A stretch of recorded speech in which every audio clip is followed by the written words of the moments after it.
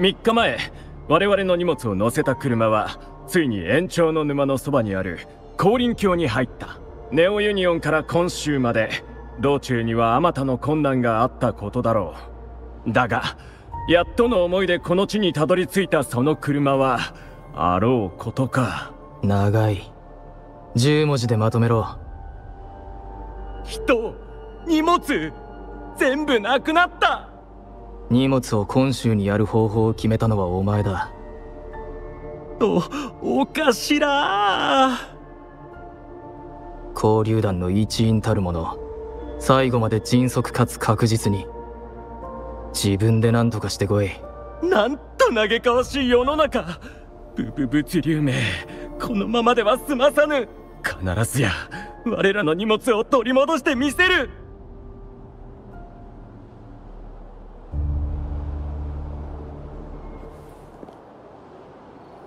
あの追放者何か問題を起こすかもしれない。順位を呼ぶにも時間がかかる。念のためブブ物流に行ってみよう。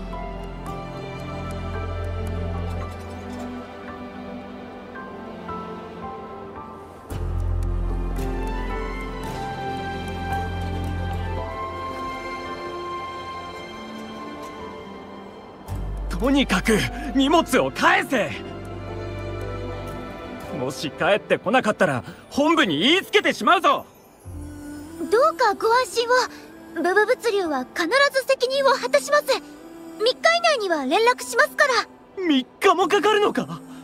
もし荷物に何かあれば大変なことに。荷物に問題があればもちろん弁償します。事前に保険も登録いただいてるし手続きも完璧です。ブブ物流は今までミスなく確実に仕事をしてくれたお前たちの誠実さに免じて待ってやる。数日後にまた来るからな。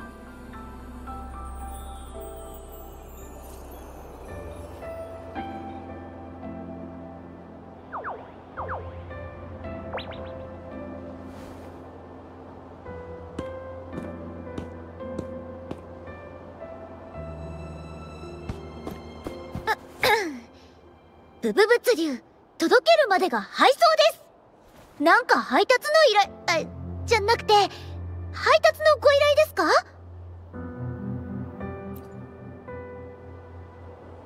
はじめまして。でも私はあなたのこと知ってるよ。だって漂白者さん今週の有名人だもの。そして私はてってれーとうとうだよ。これでも物流チームの班長なんだ。漂白者さん配達のご依頼ですか？それとも何か別の要件？あのお客様のこと？あの人はブブ物流のお得意先。ちょっとこわもてだけど乱暴なことはしない。いい人だよ。そうそう。最近この近くの延長の沼でおかしなことが起きてるみたい。漂白者さんもあそこを通るときは気をつけてね。実はあのお客様の大切な荷物を私の班の風来が途中でなくしちゃったって事件があったんだ。事情を聞いてみたんだけど延長の沼で奇妙な光景を見たって話で。まるで無音区の中みたいな。それを聞いて私調査に行ってみたの。港で聞き込みもしたよ。でも結局そこには奇妙な光景なんかなくて。ただただ？偶然かもしれないけど延長の沼に行ってからずっと夢を見ていないの。ブブ物流届けるまでが配送。ブブ物流届けるまでが配送。あ部下から連絡だ。ごめんちょっと待っててもしもし？え？また配達に？怪我の具合は？彼女のことは任せて。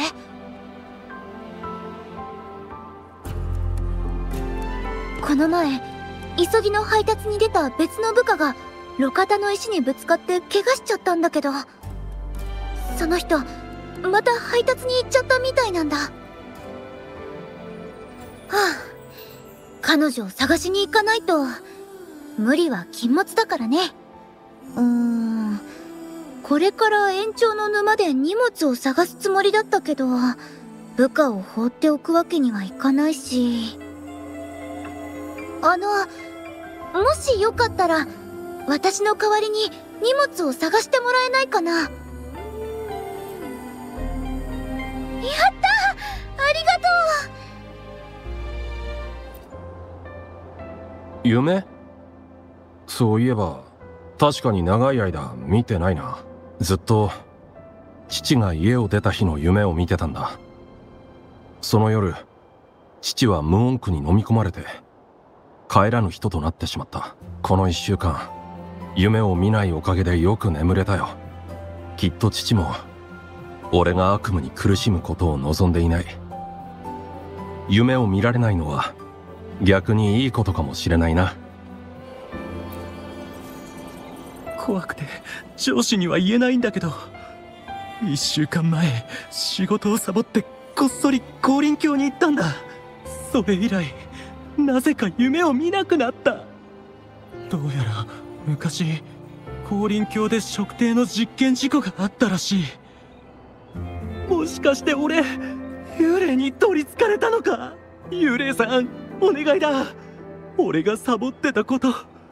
上司に言わないでくれ。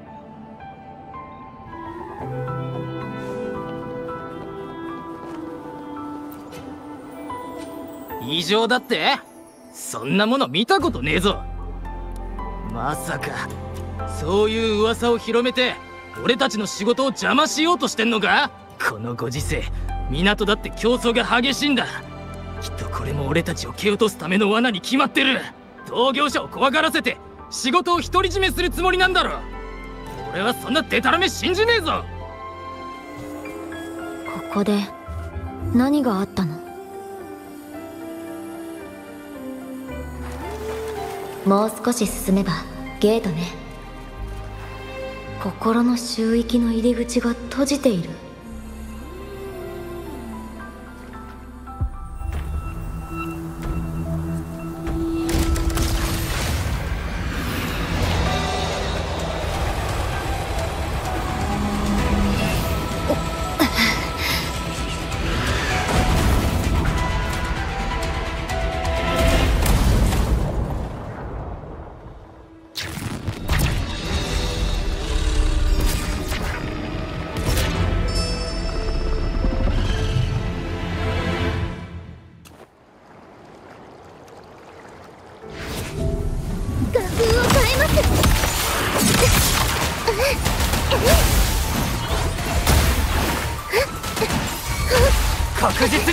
同一条件は揃った。僕が全て解き明かす。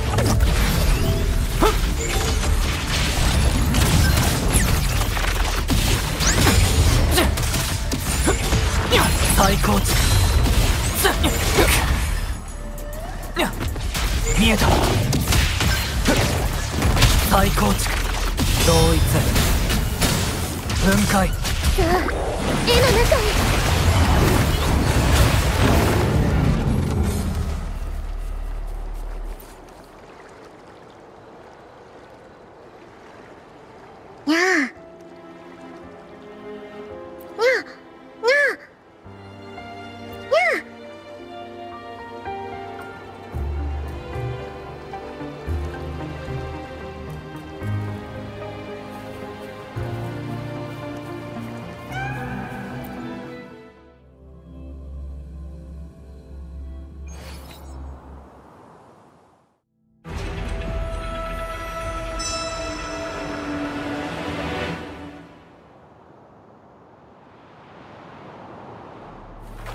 の白猫も他の人もいない。どういうことなの？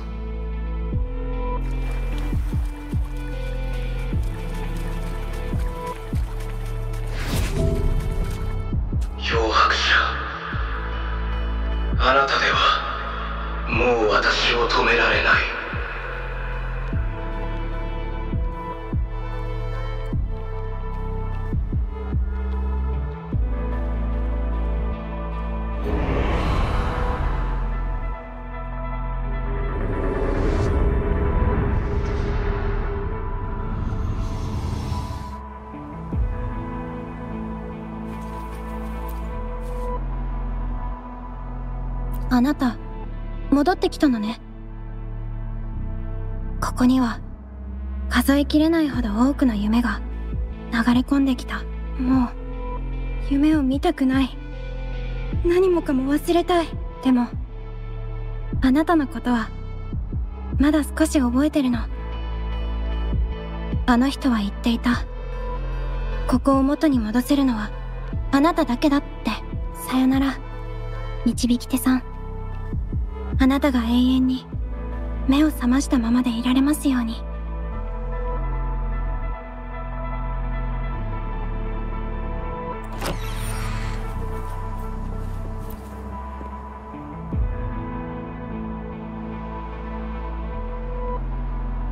心の周域にこんな場所があるなんて。とりあえず辺りを調べてみよう。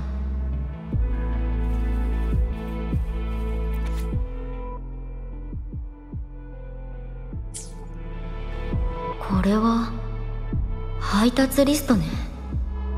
担当者欄に「風来」と書いてある。少し汚れてる。きっと誰かがここに捨てたんだ。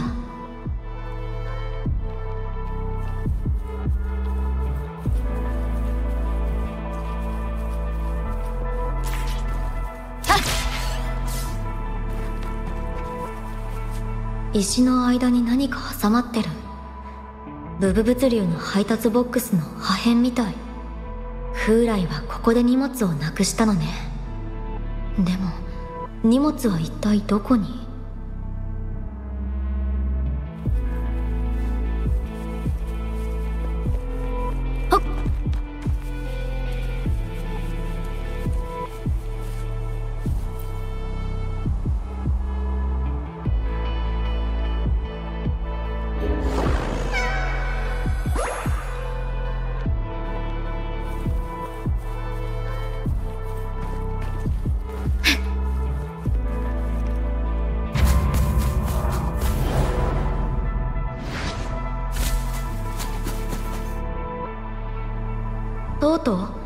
残像に追われてるの？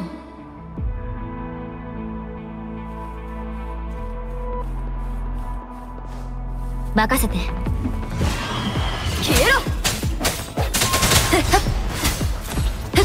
一気に行くよ！行こう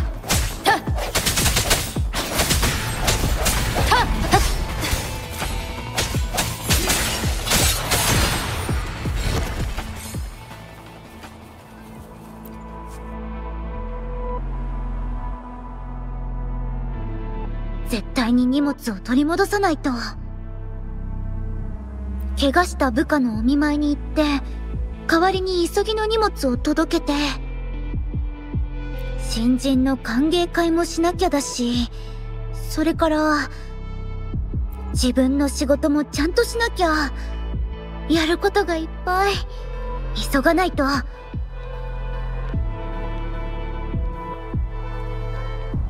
私の声は聞こえていないみたい。しまった。とうとうが危ない。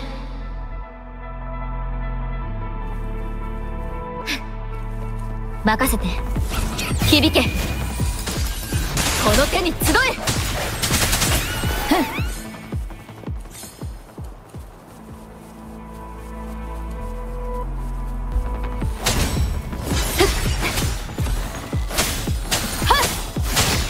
この光で。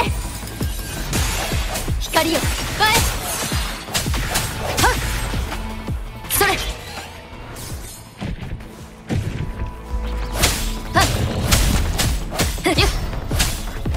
これで終わりよ。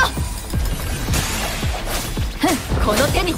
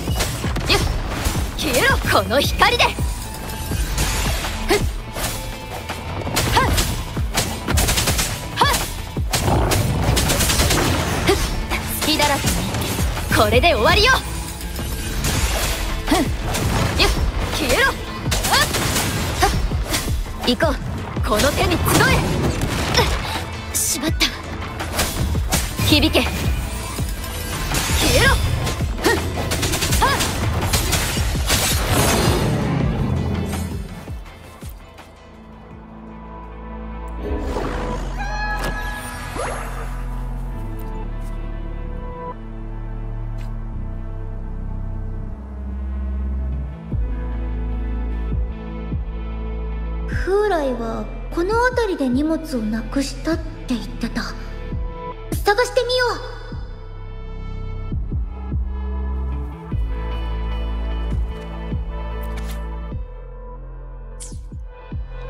風来の配達リストだ。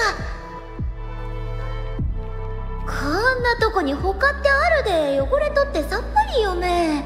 あじゃじゃなくてさっぱり読めないよ。これ配達ボックスの破片だ。早く荷物を見つけて壊れてないか確認しないと。でもどこに落としたんだろう。もっと奥を探してみよう。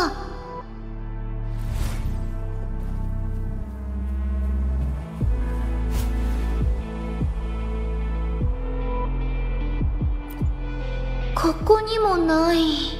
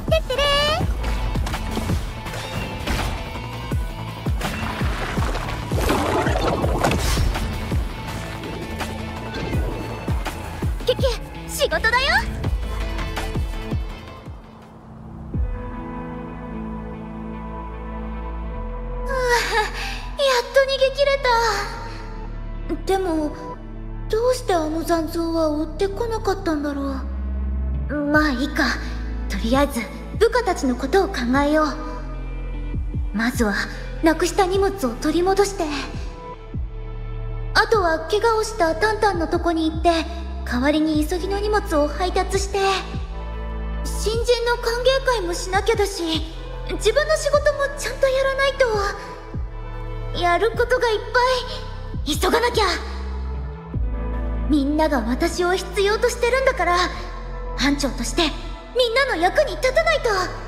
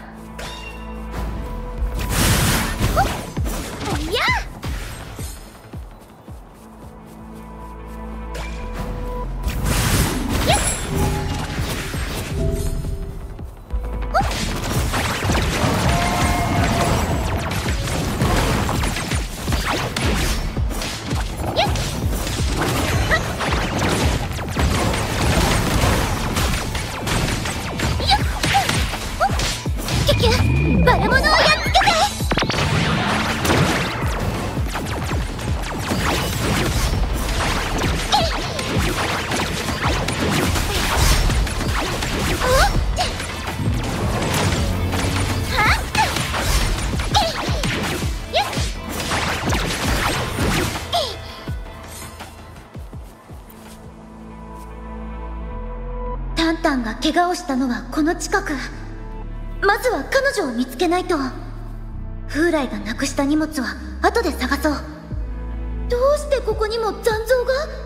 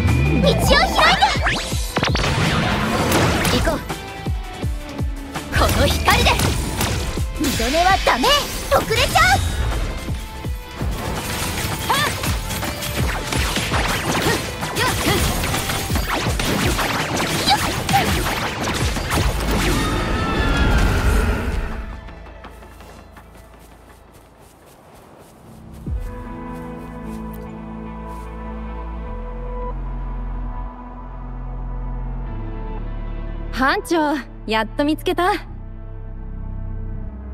私を探してたの？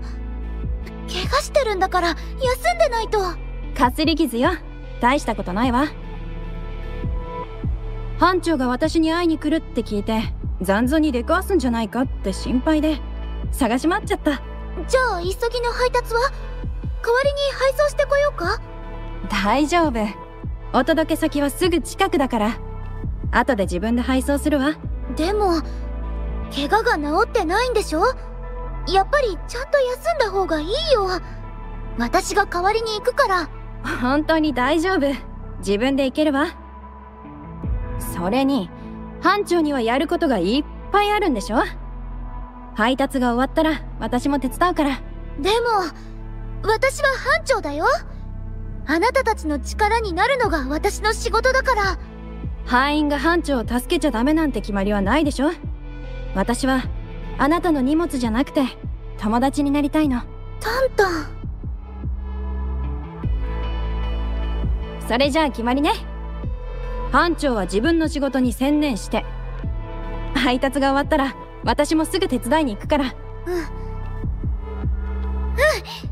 分かった。ありがとう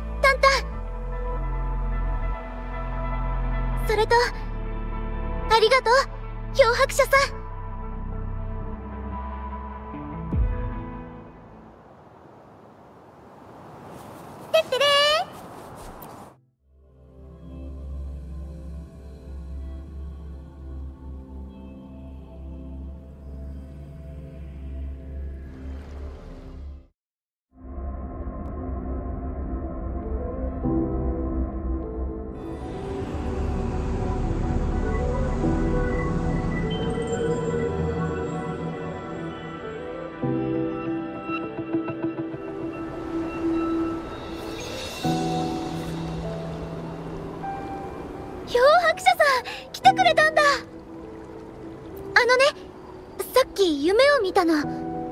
あなたも夢に出てきたんだよ。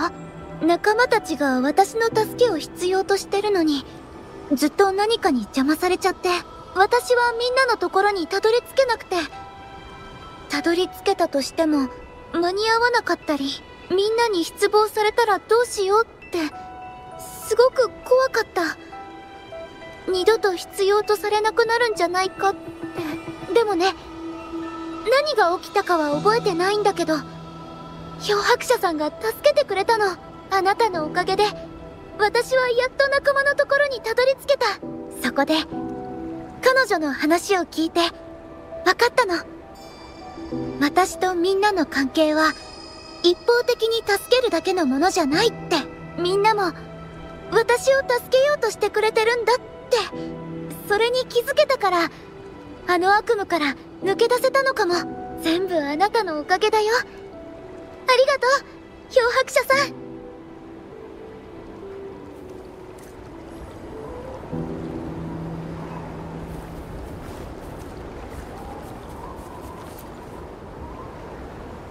ありがとうにゃ。多少ならにゃ。心の収益は現実を犯す。私の権限は失われたにゃ。他のエリアにもゲートが出現した。中に入って権限を取り戻すにゃ。そこにいる彼女は単なる幻。本人ではない。心配無用もう喋れない。エナジー低下災いを止める。頼むにゃにゃ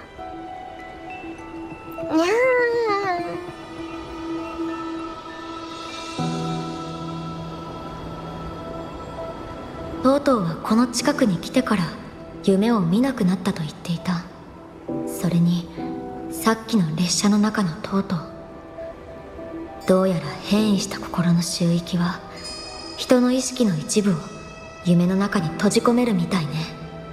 もし変異がしばらく続いてるなら閉じ込められているのはとうとうだけじゃない。もっと探索してみよう。とうとうの悪夢が仲間たちに捨てられることなら他の人の悪夢は何だろう？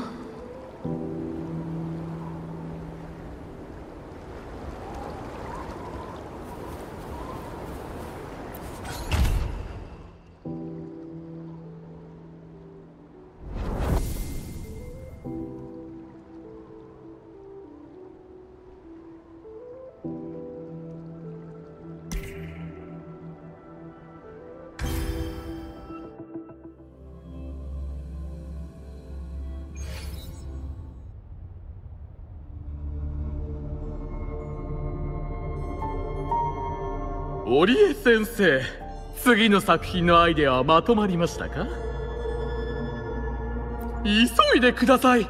私はあなたの生活のために言っているんですよ。絵師は作品がなければお金を稼げないんですから。やっぱりここは冬着の花鳥図を描きましょう。織江先生あなたの作品を購入する人は私が厳選し一人ずつ見つけているんです。彼らの好みについて私より詳しい者はおりません。つまり彼らが欲しがっているのはこの冬着の花鳥図だけなんですよ。私を信じて書いてください。絶対に高値で売りますから。わかりました織江先生。じっくり考えてください。決まったらご連絡お願いしますよ。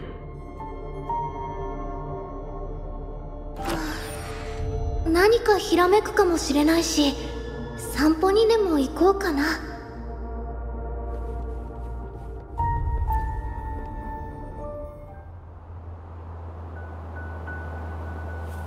ここはいい景色絵に残したいな。もうちょっと先へ行って絵を描くのにいい場所を探そう。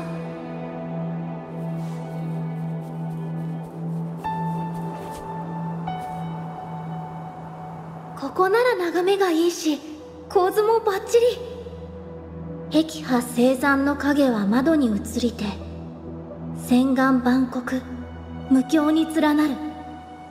構図はこれでいいけど何か足りないような。後でもうちょっと近づいて岩と木の模様を観察してみよう。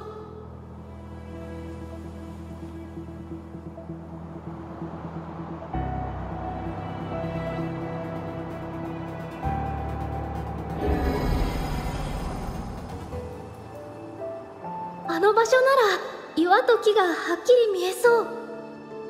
いぐさレンゲコミカンサ金霊子荒涼とした岩の色にちょうどいい組み合わせ。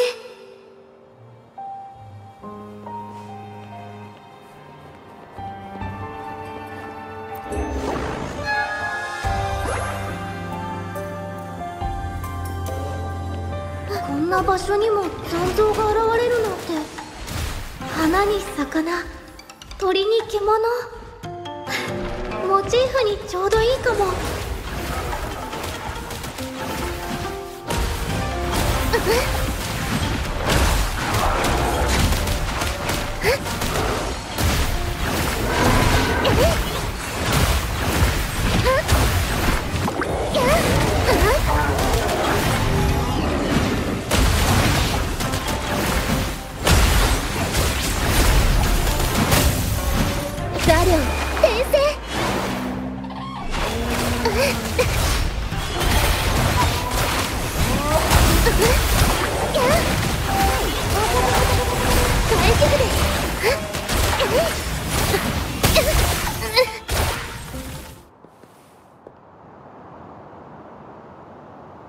岩と木の模様はこんな感じだ。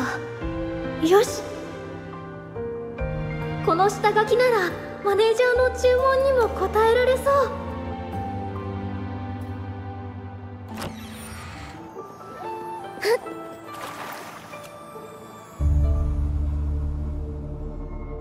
織江先生？絵の進捗はいかがですか？ですか。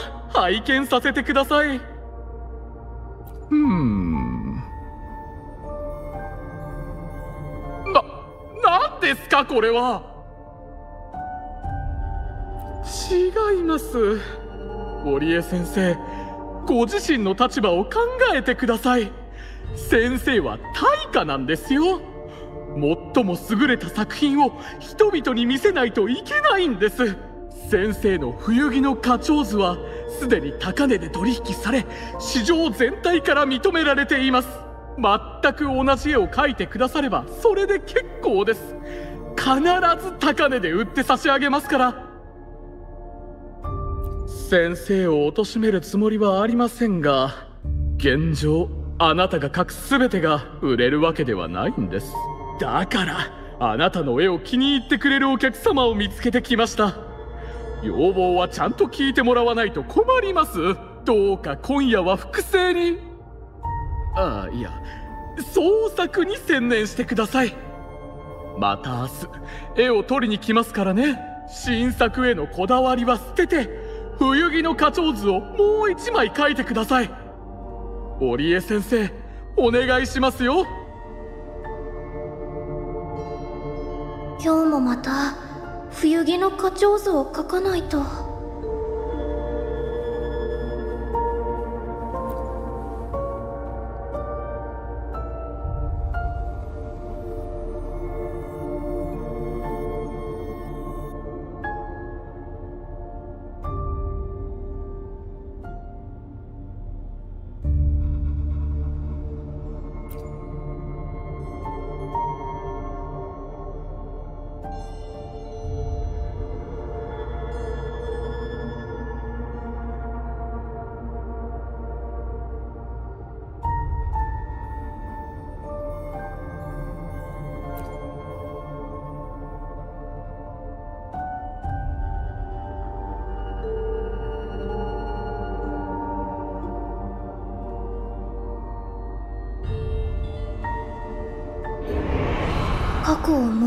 するだけ。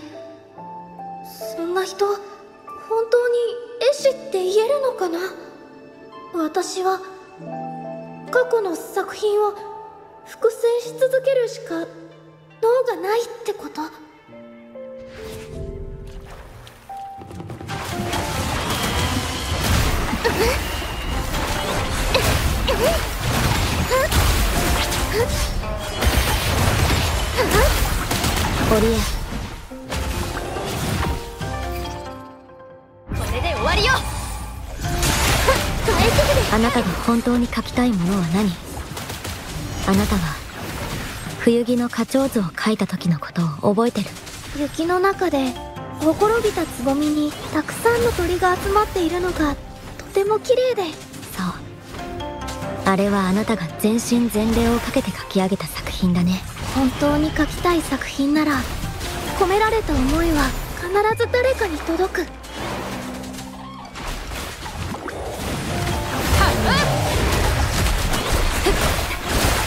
砕け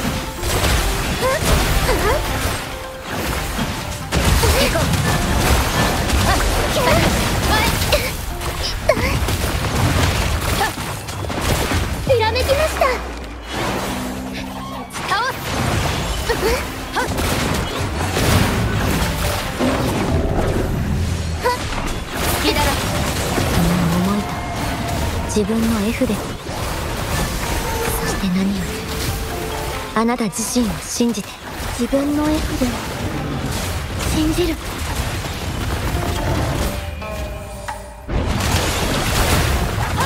鶴よ。舞い上がれ。重なり渦巻く熊のごとく。赤波星山の影は窓に映りて千眼万国無境に連なる。世は演歌の夢を溶かし描きし演歌は己を溶かす。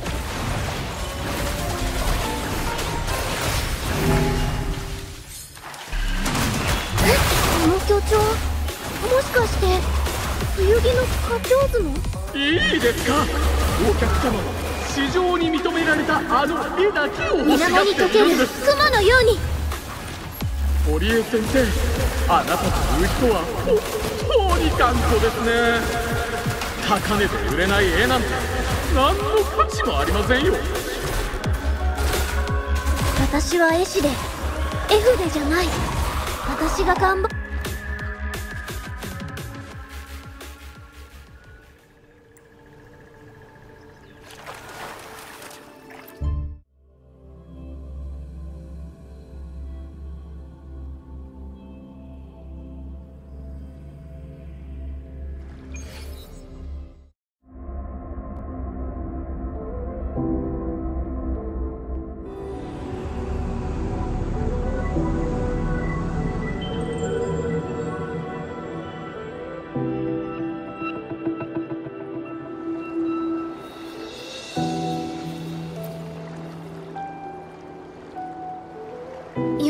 中で私はずっと新しい作品を描こうとしてたのに誰も認めてくれなかったただの商売道具として扱われて認められた作品を複製することしか望まれなくてでも私は正真正銘絵師なんだってあなたが教えてくれました。私を認めてくれてありがとうございます。漂白者さん。せ先生はやめてください。織江でいいですから。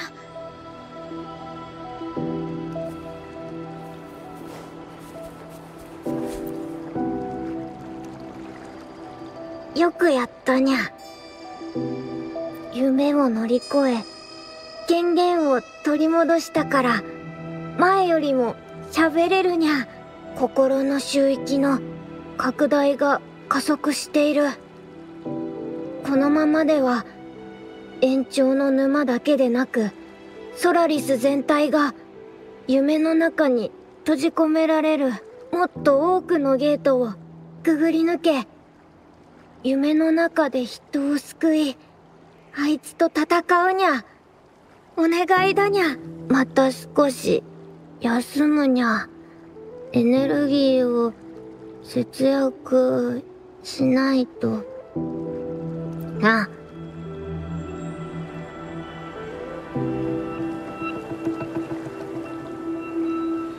今のところ心の周域に入れるのは私だけみたい。つまり白猫を除けば夢の中に閉じ込められた人が心の周域での唯一の仲間ということ。みんなを夢の中から助け出さないと。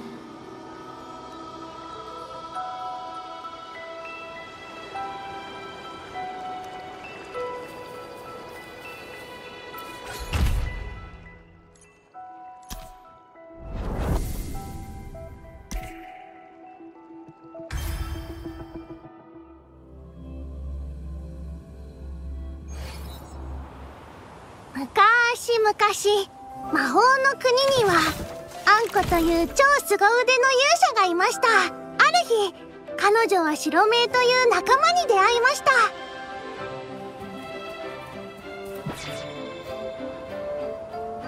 おいで白目。白目はこう言いました。私は舞台で一番人気のあるお姫様。くさんのお客さんがやってくる。ええ。しかしなんとそこへ超無敵の大魔王が現れたのです。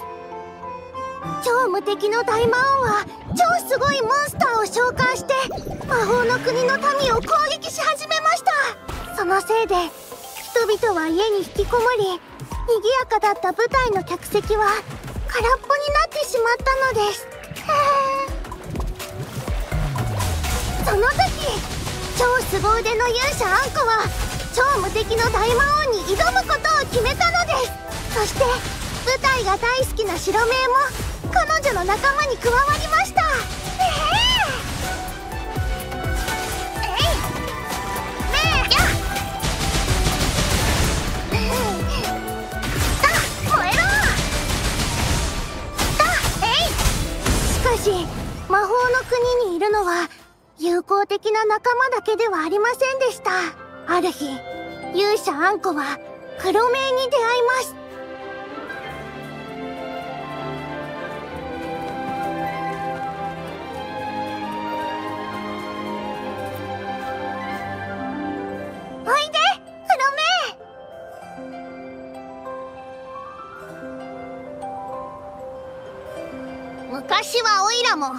魔法の国の住民だった。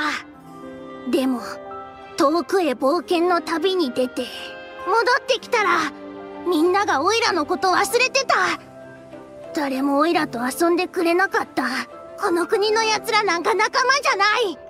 オイラは大魔王の仲間になって一緒に悪いことをするん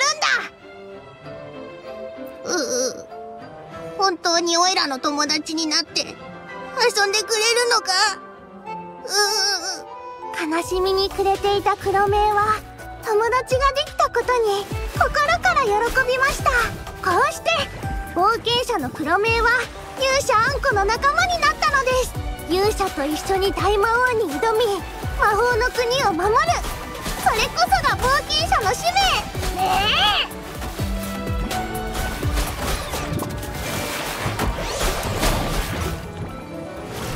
あんこのお友達いじめるな。やっや。っや。っあんこに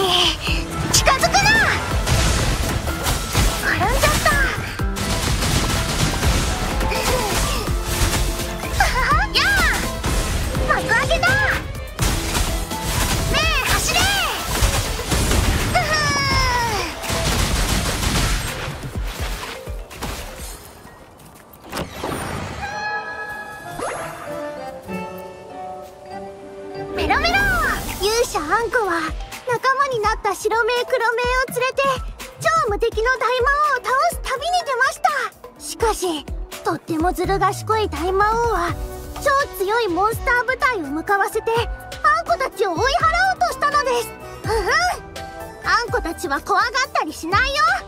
白目黒目得意技で勇者あんこを助けてついに超すごい勇者パーティーは強いモンスターたちを倒しました。しかし白目も黒目もこの戦いで傷を負ってしまったのです。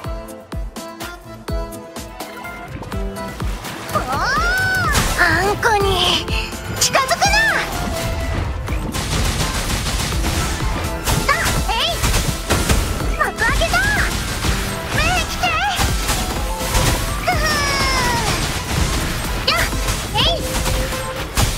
あんこのお友達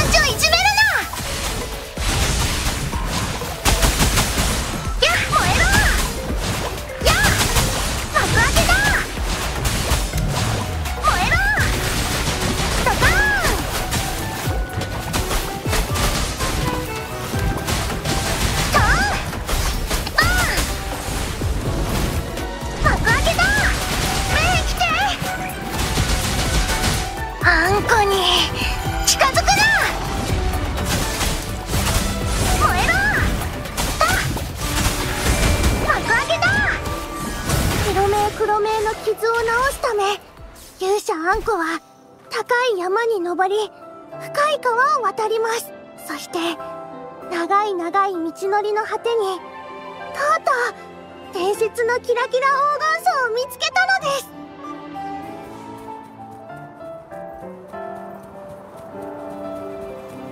慎重にその草を摘み仲間たちに与えると白目黒目の傷は完全に治りました。あんこの努力が実ったのです。こうしてあんこの超すごい勇者パーティーは大魔王を倒す旅に戻りました。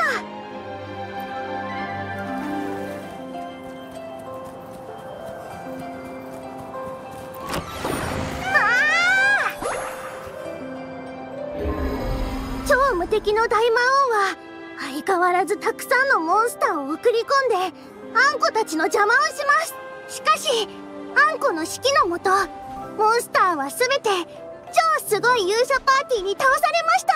超すごい勇者パーティーの戦果は魔法の国の民を大いに勇気づけました。そしてたくさんの人が超すごい勇者パーティーの仲間に立候補しました。勇者あんこは炎を吐くキャンドルの妖精さんを仲間に加えました。それからナイフとフォークでパンを100等分にできるハイ耳ウサギや4本足で走るベンチの精霊も仲間になりました。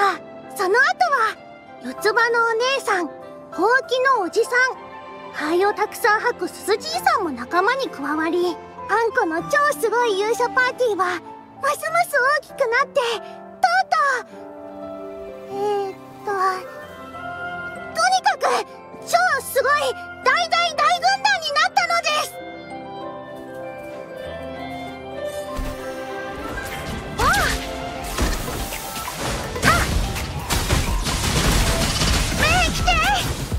幕開けだ。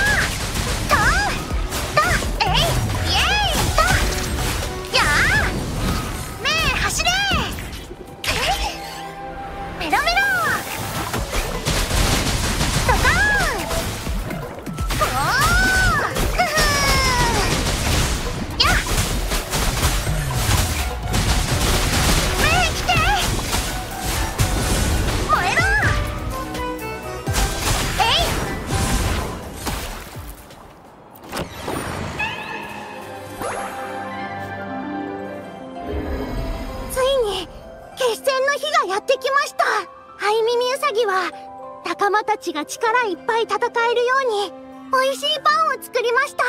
白目は決戦の前夜にみんなが勇気を出せるよう勇敢なお姫様の劇を演じました。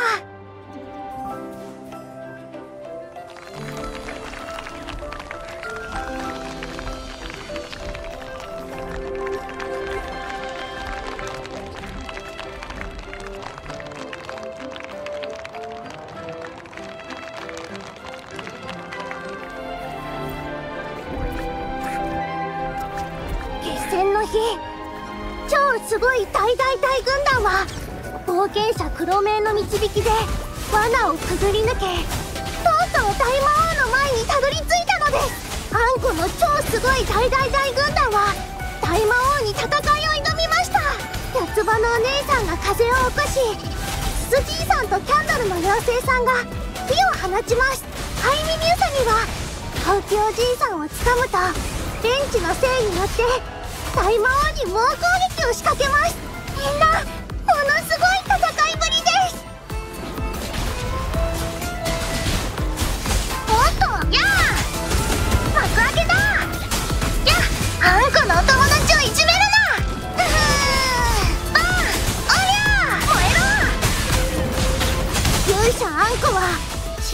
白目黒目と力を合わせて最後の一撃を放ち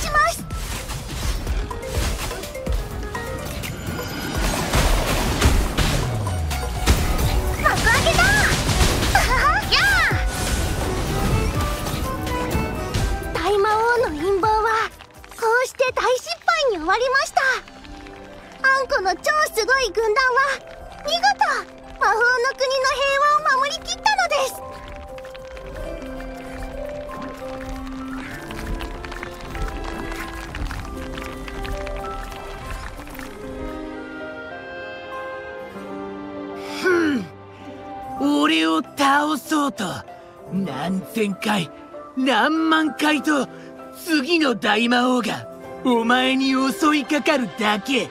魔法の国から大魔王が消えることはないのだ。あなたはどうして大魔王になったの？以前の俺は何をやっても誰にも相手にされなかった。だが大魔王になったら誰もが俺のことを怖がるようになったんだ。でもあなたにだって勇者になれるよ。いや俺には無理だ。お前のような情熱も勇気もないし仲間もいない。そんなことないよ。冒険したり魔王を倒したりそれだけが勇者ってわけじゃないもん。ほうきおじいさんは毎日お城をきれいにしてるしキャンドルの妖精さんはいつでもキラキラしてる。あんこの超すごい軍団に入る前からみんな立派な勇者だったんだよ。何かに一生懸命になって自分らしく生きれば誰だって勇者になれる。あなただってきっとなれるよ。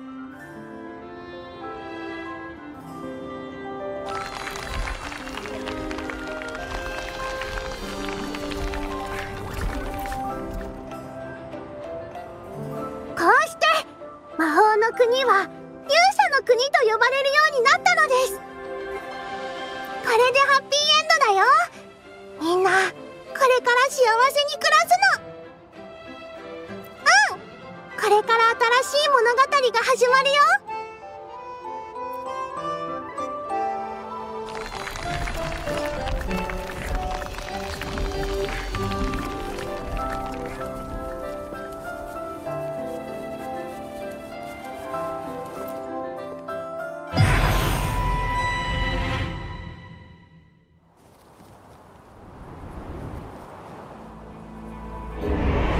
出口を通ったのになぜかまだ心の周域の中にいる。それにあんこの姿が見当たらない。もう外に出たとか出口がないか探してみよう。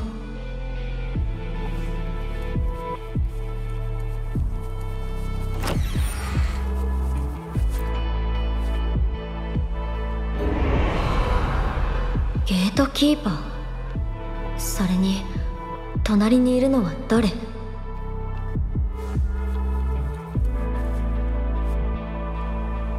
あのこのソノラの景色は本物？あなたはここの神様なの？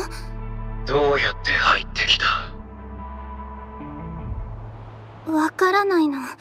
さっきまでおばあちゃんのお葬式をしてて私ずっとおばあちゃんのそばにいたの。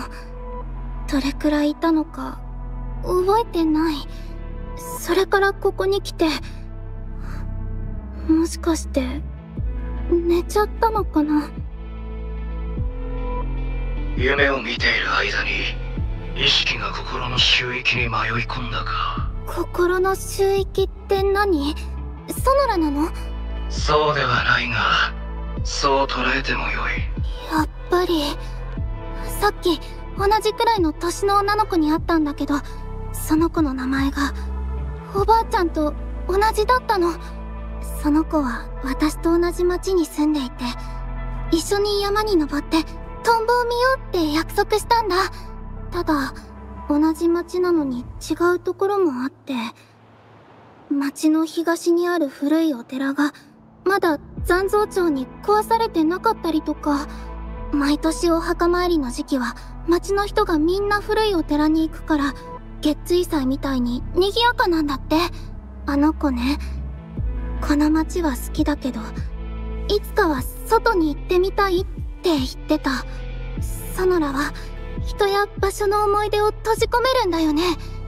私が見たのは本物？あの子は私のおばあちゃんなの？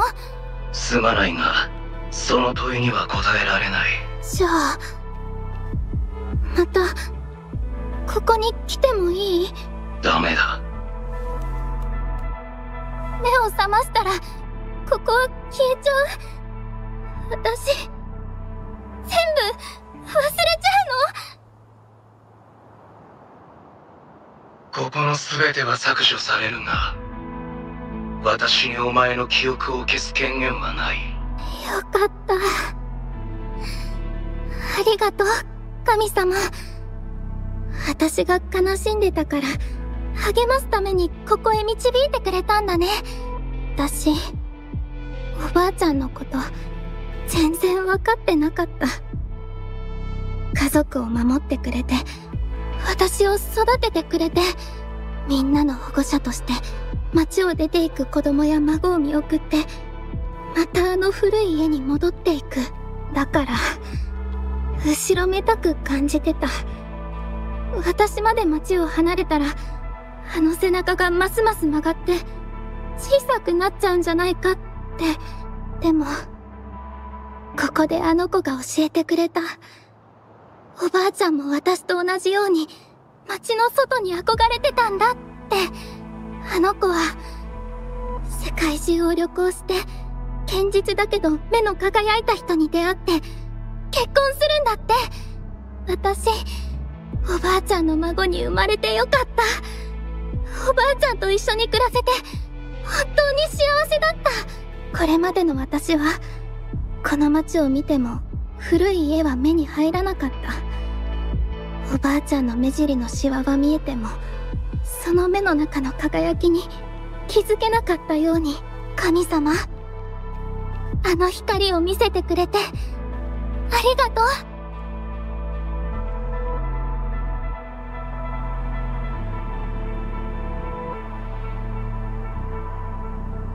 これは昔の会話で目の前にいるのは彼らの幻影。あの黒いゲートキーパーがわざと見せたの。周域は間もなく全周期のデータを削除します。速やかに退出してください。周域は間もなく全周期のデータを削除します。速やかに退出してください。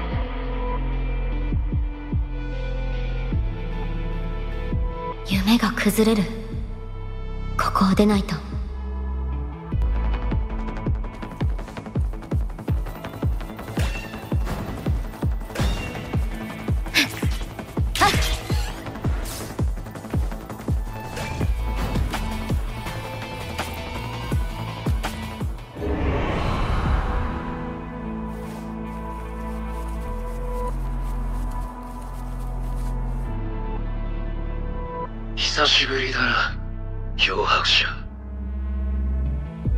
初めて会った時に言ったはずだ。心の周域が不安定になっていると。ここを脅かしているのは私ではなくここをなす原理そのものだ。漂白者。心の周域は何のために作られたと思う？それは表面的な機能に過ぎない。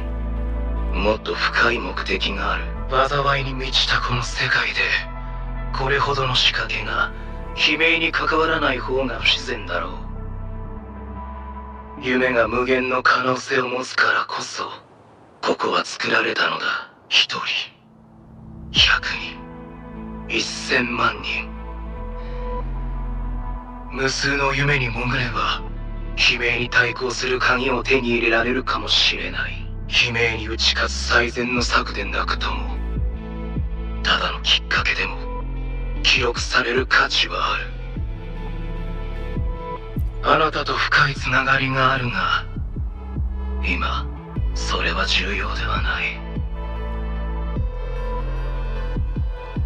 あなたはいずれ彼らの正体に気づくだろう。創造者にとって特別な価値を持つあなたと違い私は彼らがゴミを廃棄するためにプログラミングされた。都合の良いツールでしかない。この空間には限りがある。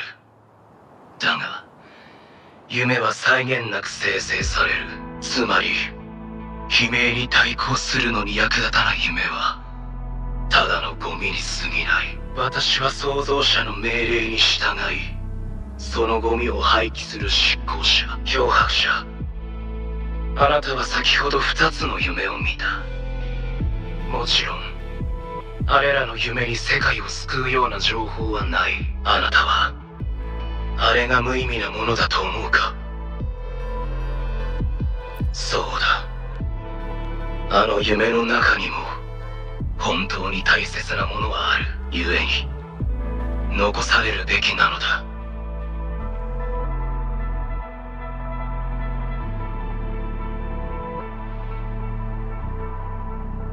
心の周域には何十億ものゲートがある。だがソラリス全土に比べればここは小さすぎる。無数の人々が紡ぐ。無数の夢。無数の思い出。それらを残すにはより大きな器が必要だ。心の周域のゲートは延長の沼の外にも現れている。あなたが現実に干渉しているのね。そうだ。器となる現実空間は夢に溶け込み心の周域の一部となる。だがそれは現実が永遠に保存され不滅となることを意味する。知っての通り誰もが救世主になろうとするわけではない。ほとんどの夢はとても利己的で賠償なものだ。それでも廃棄されるべきではない。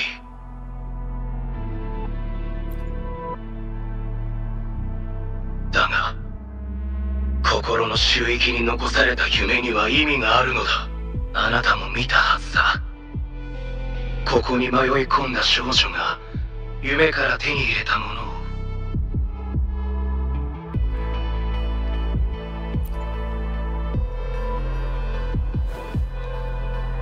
あなたはその手で人の夢と思い出を消したことがあるか。周域は間もなく全周期のデータを削除します。速やかに退出してください。周域は間もなく全周期のデータを削除します。速やかに退出してください。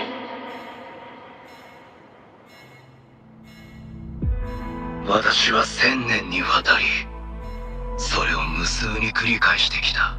私とあの夢たちに本質的な違いはない。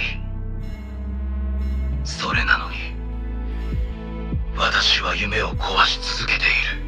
汚れ仕事に縁のないあなたが私を理解できないのは当然だ。漂白者。あなたではもう私を止められない。ここの夢も崩れそう。早く敵を片付けて脱出しよう。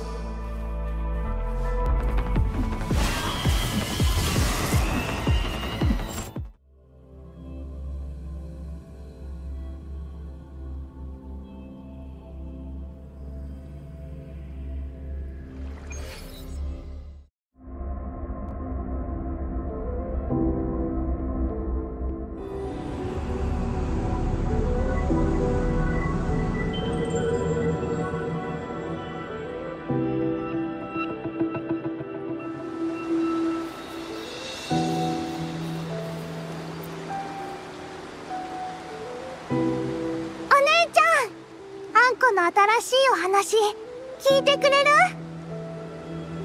コホン始まりはこうだよ。むかしむかし雲の王国にはあんこという素晴らしい勇者がいました。彼女はお姉ちゃんに出会い旅人の黒名と王子様の白名とも出会いその後もたくさんの仲間に恵まれます。そして最後には仲間と一緒に黙々暗雲を倒したのです。素敵でしょ？あんこ仲間と一緒に冒険するお話が一番好きなの。新しいお話を思いついたらまたお姉ちゃんに聞かせてあげるね。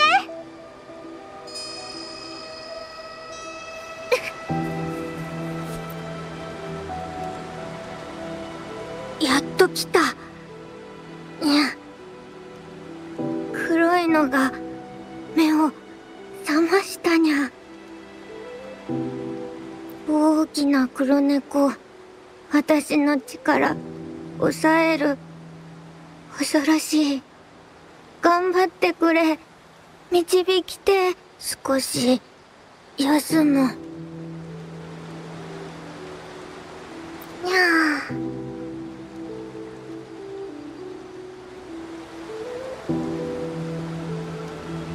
白猫の状態が悪くなってる。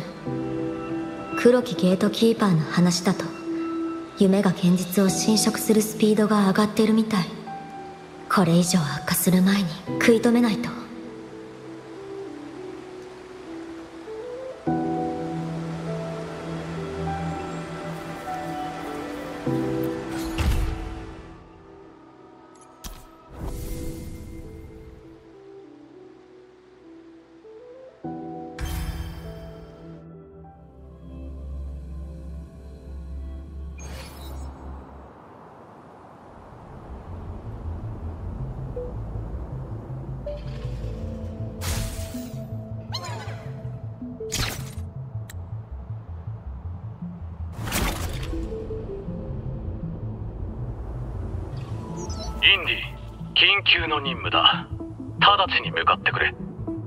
団の内部に潜入して奴らの取引データを盗むんだ。正体がバレないように気をつけろ。気づかれれば証拠が消されてしまうからな。ソーダ団に潜入か。変装用の服を用意しないとね。それと他のメンバーと連絡は取られたくない。この拠点の通信設備は切っておこう。金村ぜなん。て見る目がねえなよし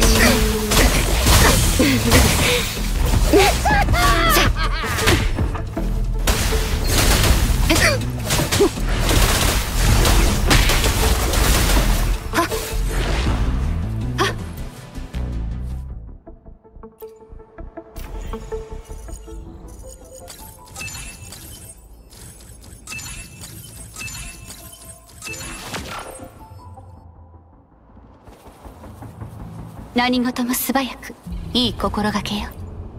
この服で良さそうね。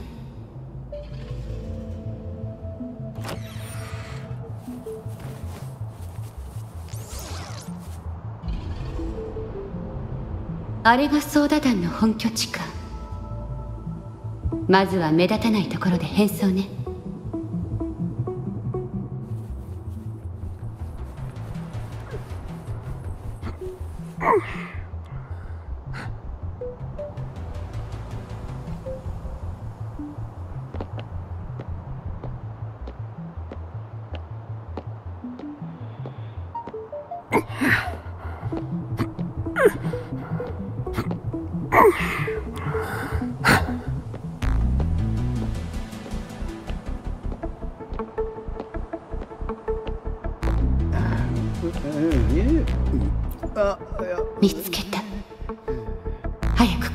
治安署に戻らないと。途中でソーダ団のメンバーに出くわすかもしれないししばらくはこの服のままでいた方が良さそうね。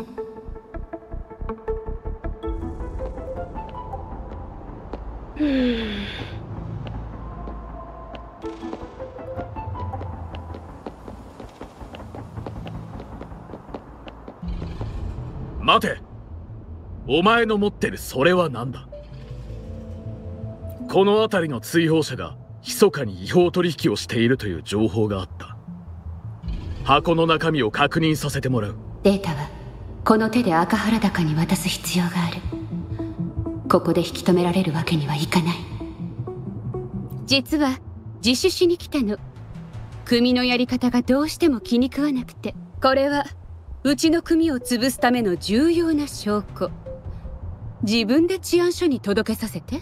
もし信用できないなら私に監視役をつけても構わないわ。そうか。自首する気があるのはいいことだ。私はこの追放者と治安署に戻るからお前たちは引き続きパトロールを続けてくれ。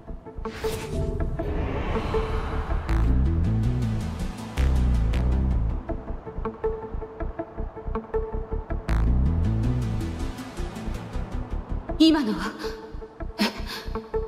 どうして順位たちが倒れてるの？順位たちに怪我はない。ただ気絶しているだけ。すぐに目を覚ましそうね。今のうちにデータを赤原高に届けないと。でもここには何かがある。警戒した方が良さそうね。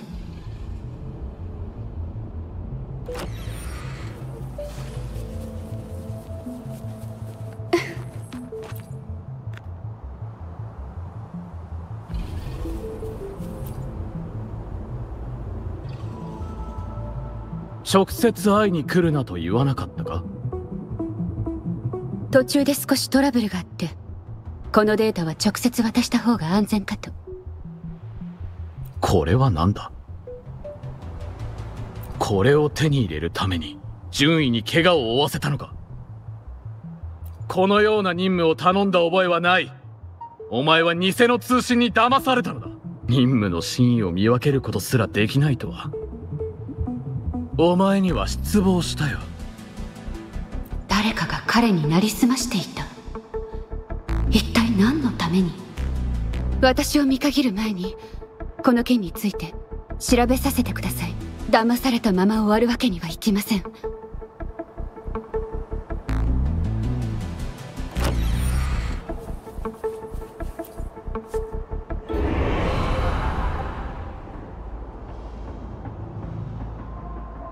ハハハハ!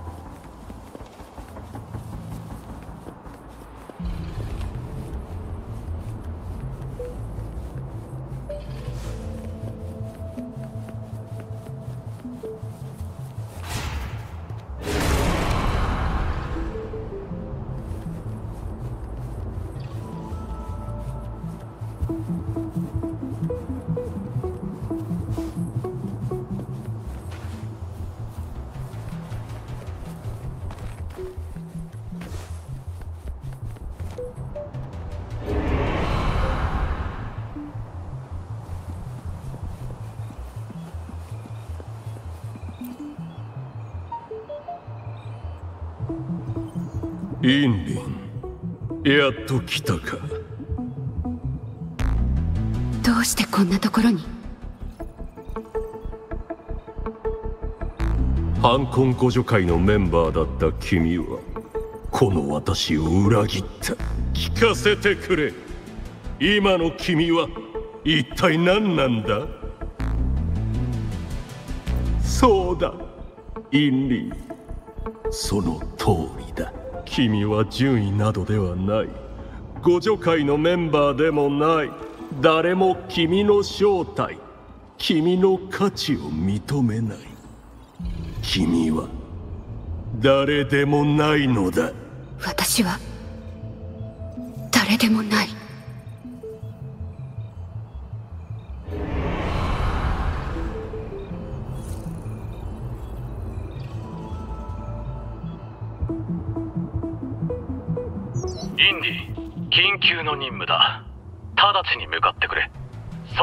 の内部に潜入して奴らの取引データを盗むんだ。正体がバレないように気をつけろ。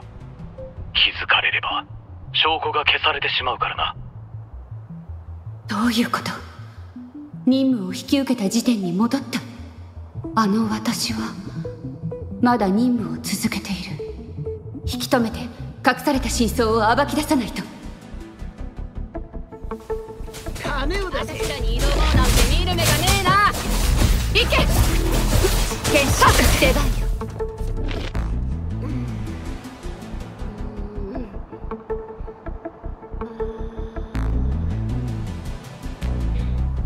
インリン落ち着いて。この任務は本物。安心して。それは赤原高こそが裏切り者だったからインリンは何も間違ってなんかない。いいえ。あなたは気づいたの？ここじゃない場所で全てを見抜いたあなたは治安署と協力して彼の裏切りを暴きソーダ団の取引も見事に阻止した。もちろん順位に怪我をさせた事実もない。あなたは正しい判断をしているし騙されてなんかない。ただ判断を誤ることを恐れて夢を見ているだけ。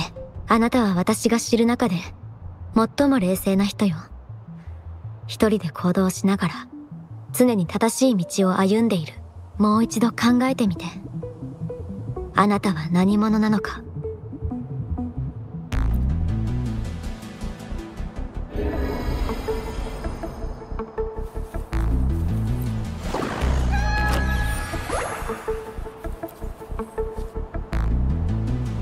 インディ君にはもう身分がない。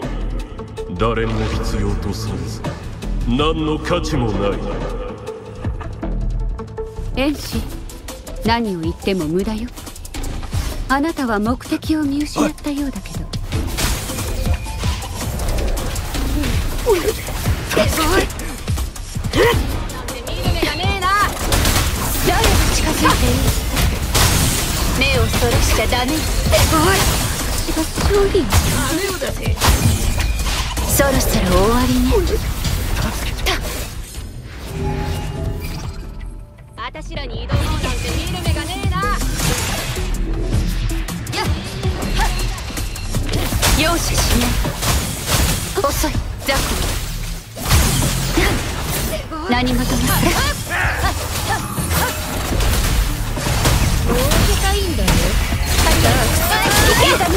つけてほしいご退場誰の仲間でもなく順位でもない。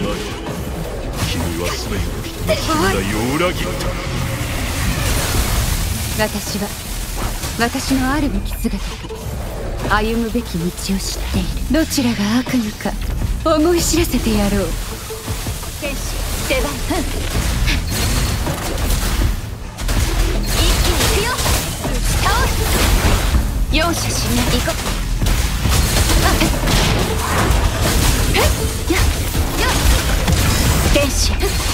閉めるわよおい痛めつけてほしいだけ。やつこれで終わりよ飽きたわ行こうさようなら。灰になる。行け。剣士行くわよ。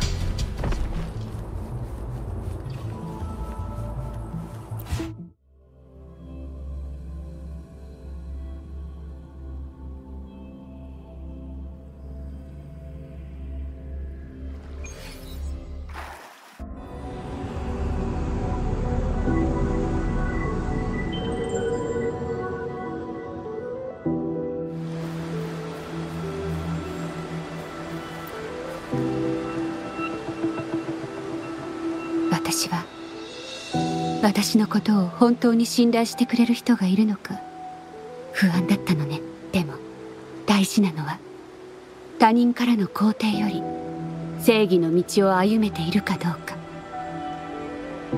今回それがよく分かったわ。私が自分を信じられなくなった時は漂白者あんたが教えて。私は正しい道を歩んでいる。ありがとう漂白者。人に信じてもらうのってなんだかくすぐったいわね。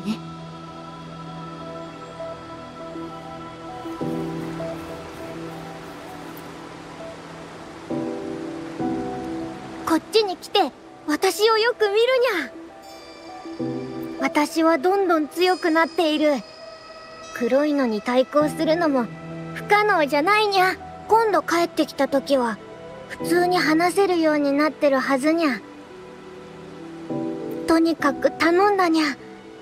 最近よく寝たからきっとこれが最後。私は本物の猫じゃないにゃ。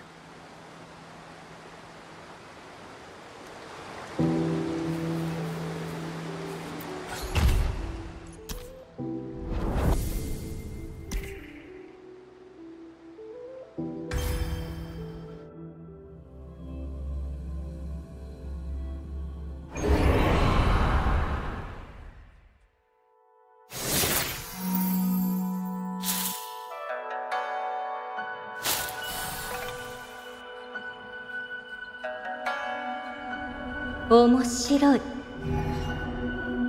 どうやらここは昔のコーチンらしいね。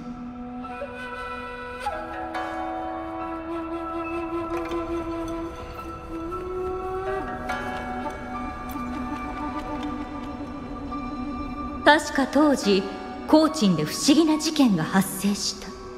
とある家の一人の子供が行方不明となり皆が上昇山をくまなく探したが結局その子は見つからなかっ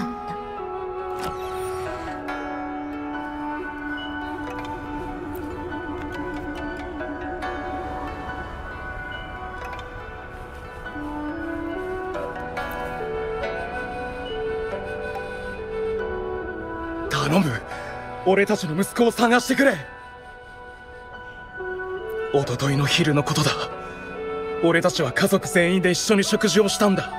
それから俺は山の泉に水を汲みに行って帰ってきたらジンはいなくなっていた。ジンは友達のところに行くと妻に言ってそのまま戻ってこなかったらしい。俺はもう何日も何も食べられず眠れないままだ。ああジンどこへ行ったんだ？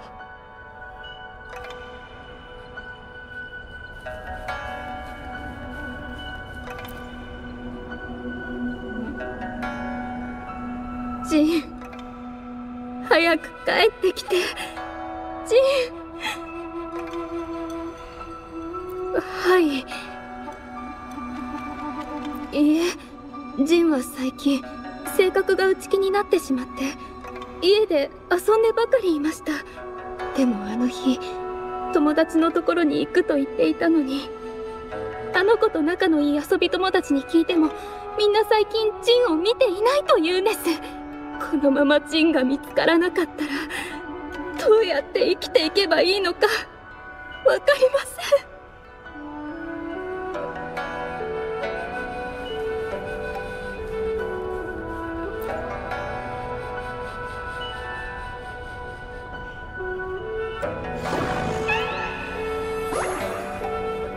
気をつけて。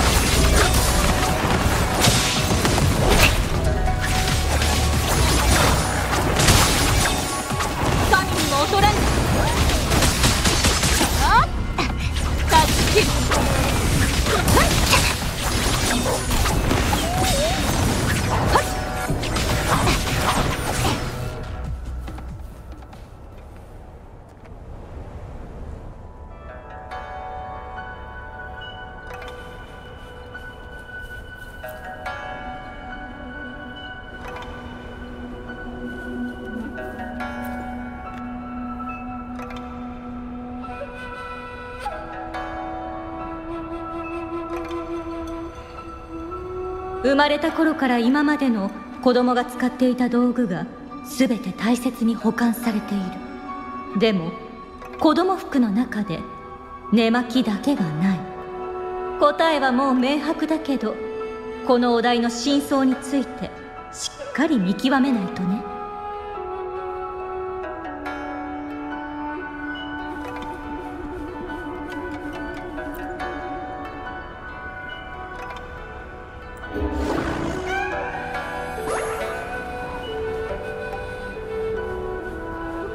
気をつけて。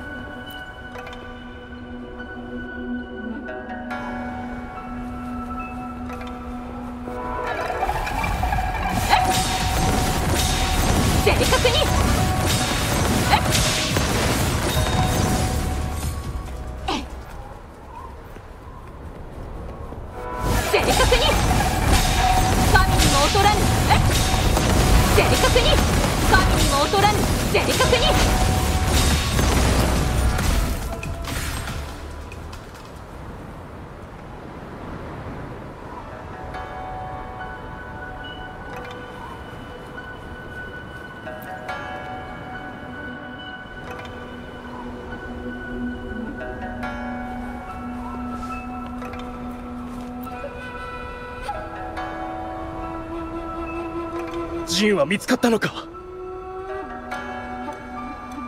ジンがどこに行ったか分かったの？お願いだから早く教えて。なんだと？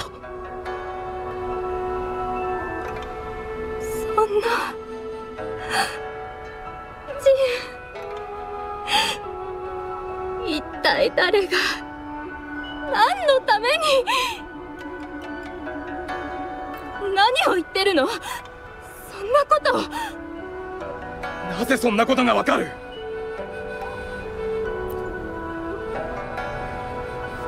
素材発見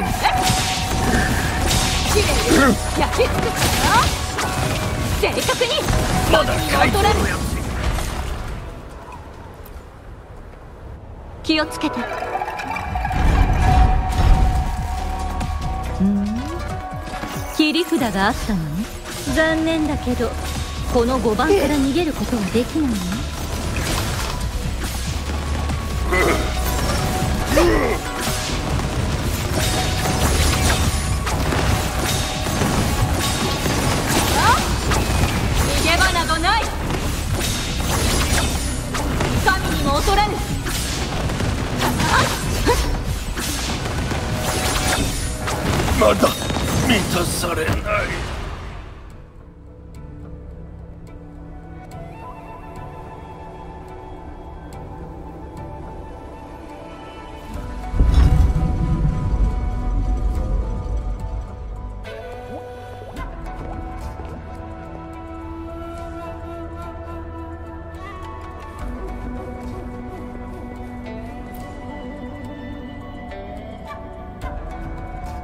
私を見ても驚かないのね。どうしてジンが殺されていると分かったの？子供がそんな中薄い寝巻きを着て一人で出かけるなんてありえない。事件は作り話であの両親はフラクトシデスが用意した偽物だってことも分かってたのね。あなたは全てを知っていた。自分が夢の中にいるということも気づいているんだね。だったらなぜ夢から出ようとしなかったの？騙されたふりをして状況を見極めていたの。夢の中に目を覚ました者がいる。それって敵にとっては厄介な存在でしょ？自分を駒にすることも厭わない。あなたらしいね。力を貸して。調理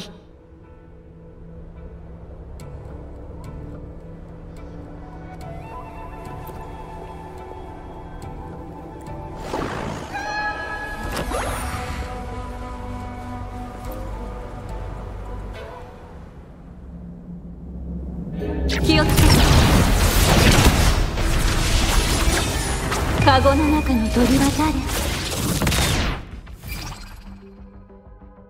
この光で正確に逃げ場などない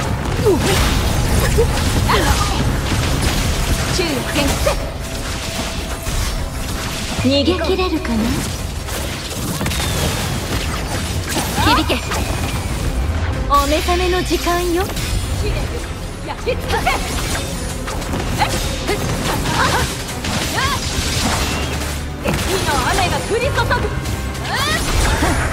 カゴの中の鳥は誰断ち切る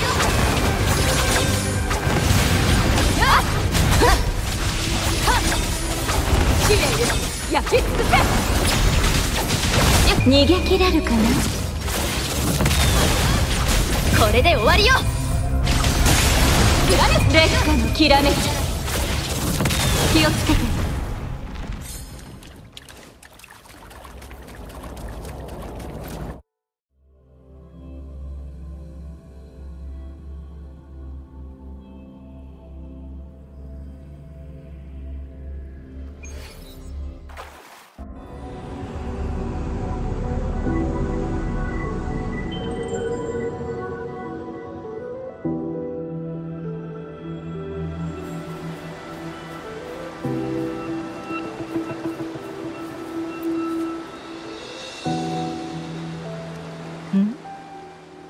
まだ例の事件について知りたいの？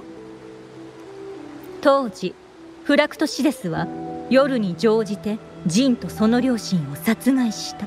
真意様が異変に気づいた時フラクトシデスの二人はすでにジンの両親になりすまし上昇山で暮らし始めていたの。でも真意様は彼らを摘発せずにわざと泳がせた。そして半月後フラクトシデスはついに動き出した。行方不明騒ぎを起こしジーンを探すという名目で堂々と上昇山の秘密を調べようとしたのよ。そこで真意様も動いて潜入していたフラクトシデスを偽の両親ごと一網打尽にした。謙遜する必要はないんじゃない？あなたの辛抱遠慮も見事なものだから。相手の正体はまだわからないけどわらわの力が必要なら喜んで協力させてもらうよ。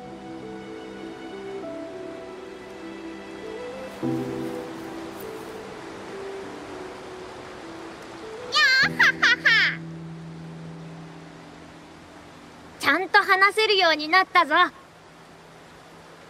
にゃーにゃー泣くか短い言葉しか喋れない方がいいのかともかく。残りの記憶ブロックはあと一つ。最後の一人を夢から救出すれば私と黒いのは心の周域の制御権を半分ずつ持つことになる。そうなればあいつに総攻撃を仕掛けられる。にゃーうん。うん本気で猫扱いするな。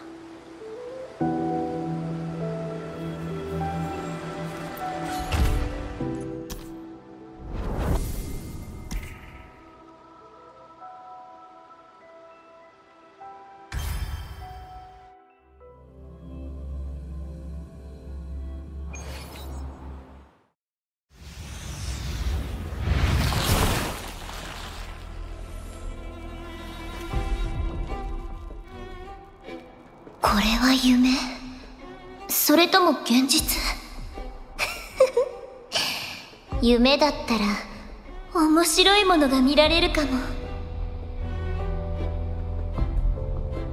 あれは 夢で会えるなんて嬉しいな。おとなしく待っててね漂白者。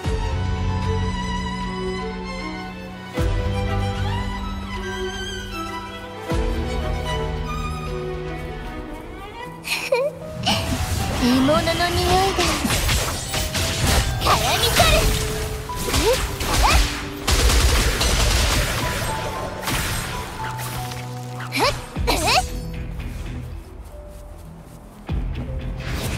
私とかくれんぼしたいの？付き合ってあげる。我慢してやっと手に入れた果実が一番甘くて美味しいもんね。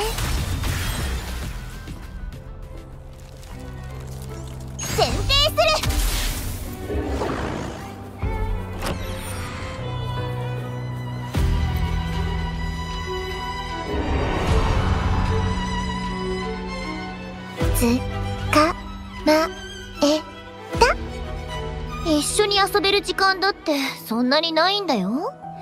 これ以上待たせないで。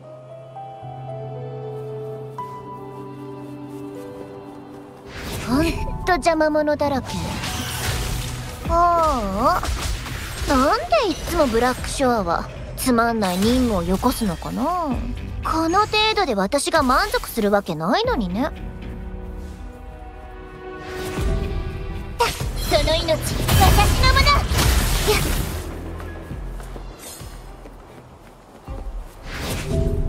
もっともっと私を楽しませて。漂白者また消えちゃった。つまんない。つまんない。つまんない退屈なのって。大嫌い。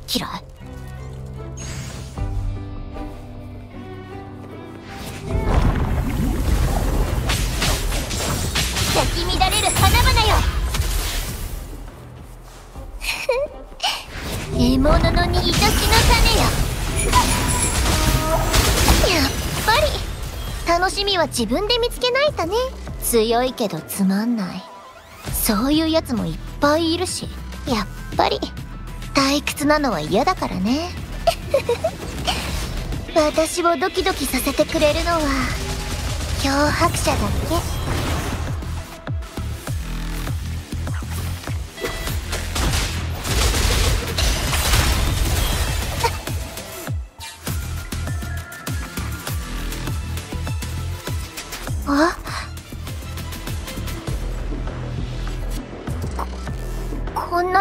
えない。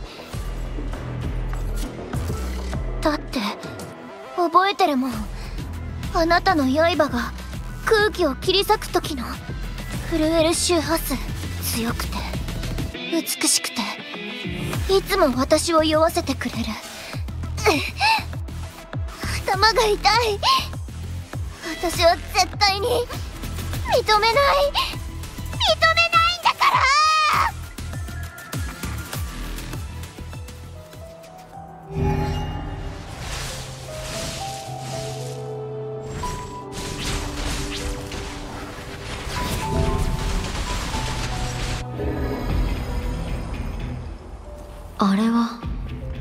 椿助けが必要みたい。急がないと。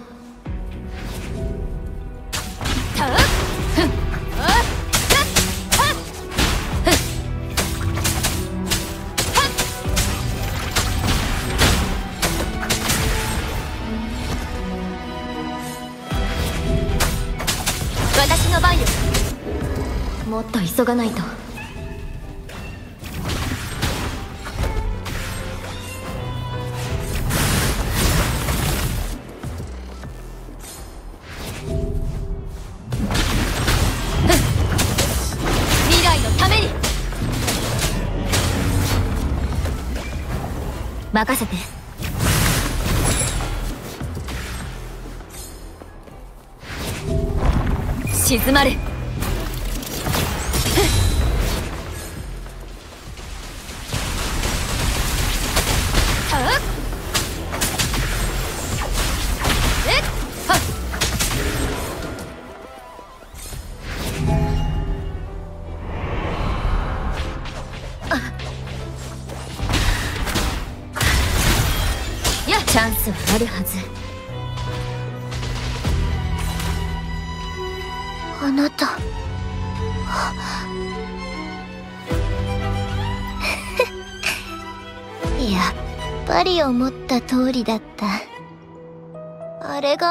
なんてありえない。あなたの力はあんなものじゃないって知ってるから。素敵。あなたは正真正銘私の最愛の種。これからもたっくさんお話ししてゲームして戦おうね。もしかして誘ってるの？ドキドキしちゃう。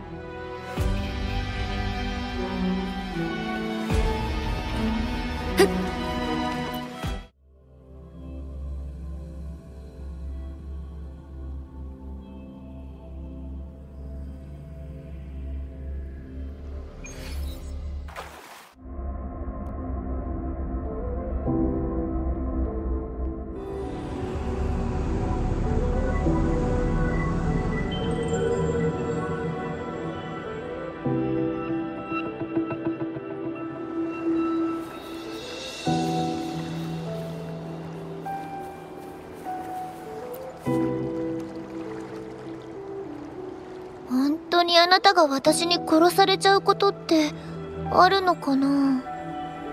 うーん。やっぱりあなたに関係することだからかな。あなたは強敵をいっぱい倒してきたしそう簡単にはやられないよね。あなたが自ら望まない限りは。安心して。あなたのことを縛るつもりはないからあなたの秘めた力も。野心も理想もどれも好きだけど私が一番好きなのはあなたがそれを語る時に私に向ける目。私いつかこの世界からあなたを盗んで誰にも見つからないところに逃げちゃうかも。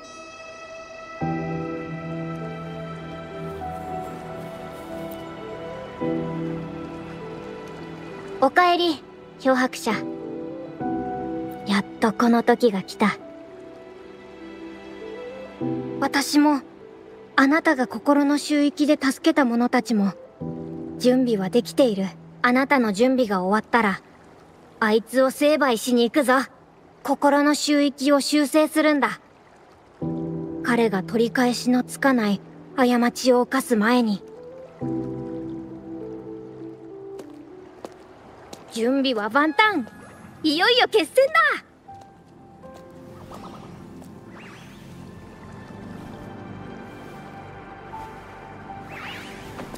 大魔王に挑戦だ。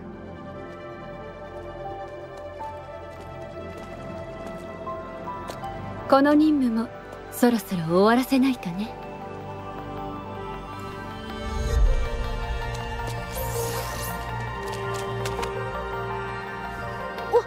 おお役に立てるのなら全力で頑張ります。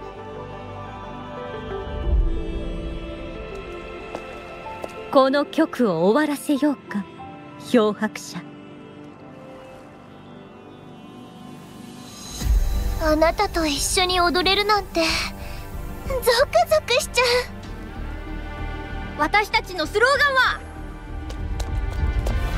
ブブ物流は届けるまでが配送そうじゃない。世界を救う。だ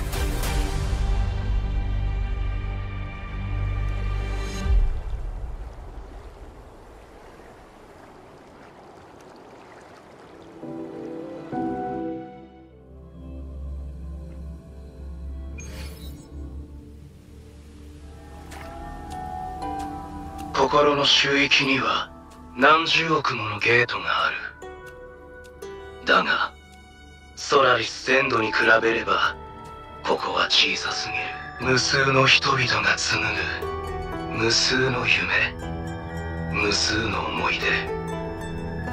それらを残すにはより大きな器が必要だ。漂白者。あなたではもう私を止められない。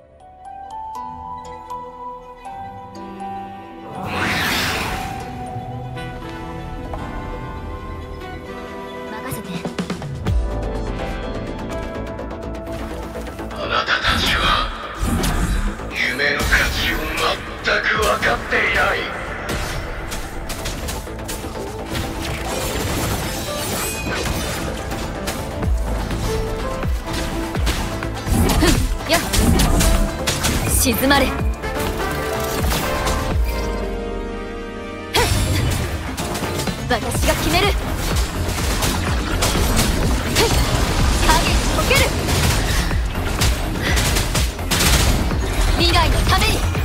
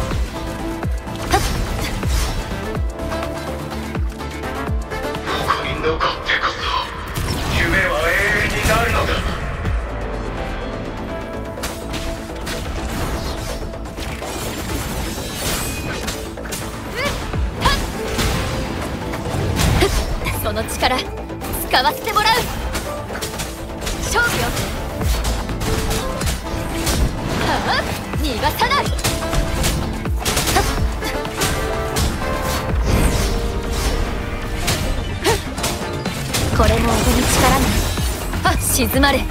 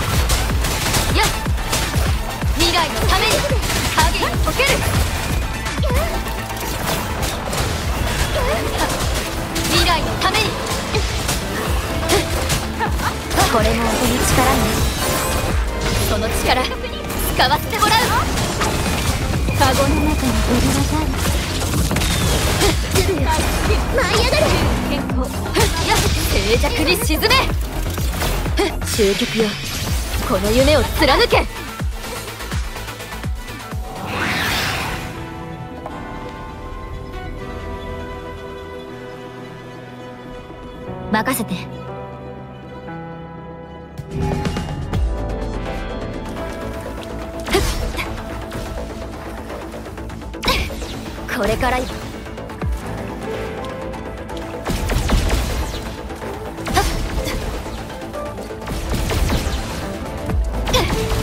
し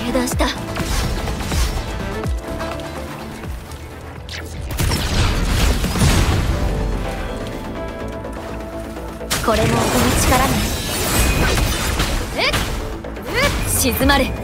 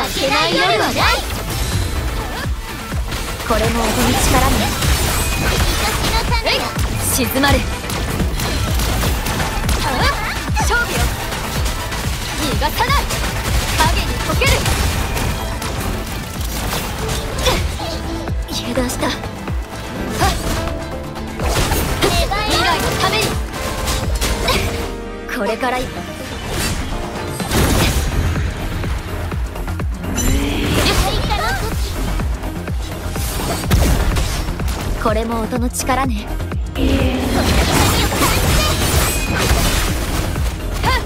静まれ。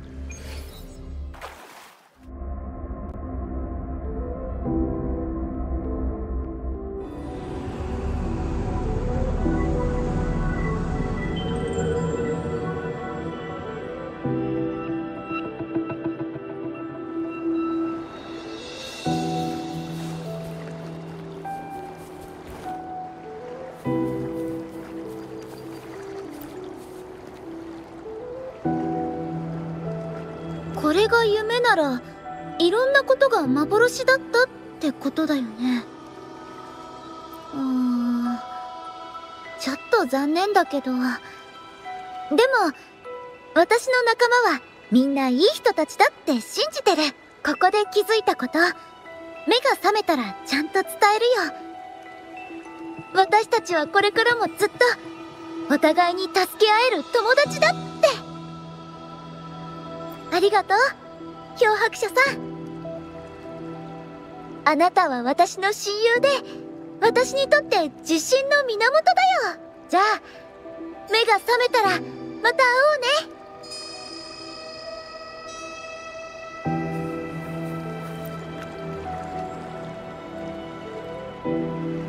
冒険は大成功だね。今回は10人の勇者がんなで黒猫魔王を倒す物語だよ。あんこ勇者黒目勇者白目勇者白猫勇者お姉ちゃん。もちろんみんな勇者なんだから。そして危険な武道王国で冒険はさらに続く。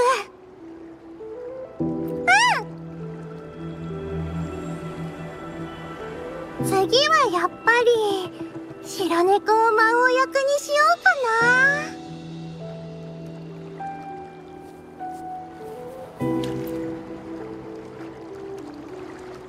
漂白者さんあのあなたのおかげで私あの絵を完成させることができました。それでも私は迷ってしまうことがあって。どんな絵だって心を込めて描くことで命が宿る。心から最下三虚図を描きたいと思った時絵に魂が宿るのを感じました。あなたの助言のおかげで迷わずにあの瞬間をつかめたんです。もしかしたら現実世界の私はもっと多くのものを描けるかもしれない。漂白者さん。目が覚めた後もしよかったら私の絵を見に来ませんか？えっと私待ってますから。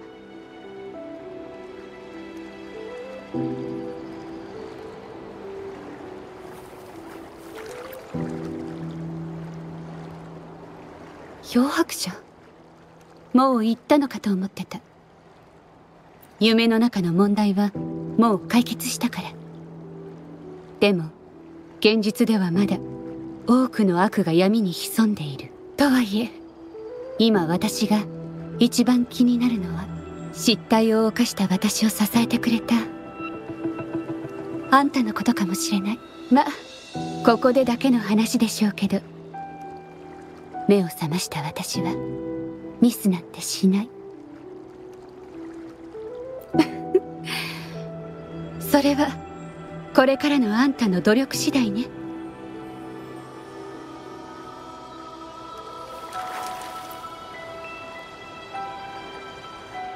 漂白者あなたにとって夢とは何？わらわは自分の手で夢の中にいることに気づき夢の中で真相にたどり着いた。記憶を失ったあなたの場合現実を夢の中のように感じたりするのかしら。観察と思考を重ねればいつかあなたも現実の全容をつかめるのかもね。あくまで家庭の話本気にしないで。ただ夢に入りコーチンの町に身を置いた時に得たあの感覚。確かに記憶喪失のようにも感じた。目の前にあるのがコーチンだとわかるのに自分がどこから来たのか何のために来たのかまるでわからない。あなたが雲量谷で目を覚ました時も同じだったんじゃないのかな。これからは細心の注意を払って些細なことにも気を配るように少しでもあなたの役に立てたのならこの壮大な夢も見た甲斐があったというものね。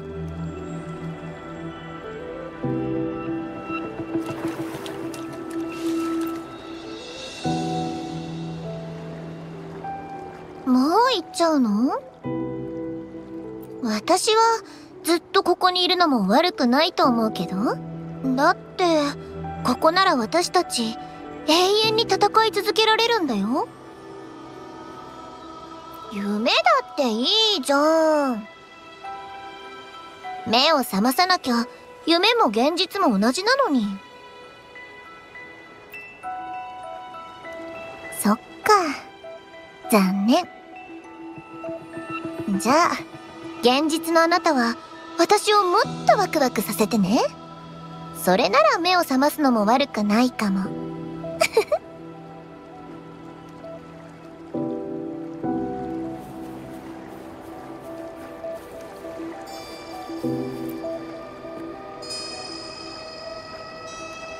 これで一件落着だな。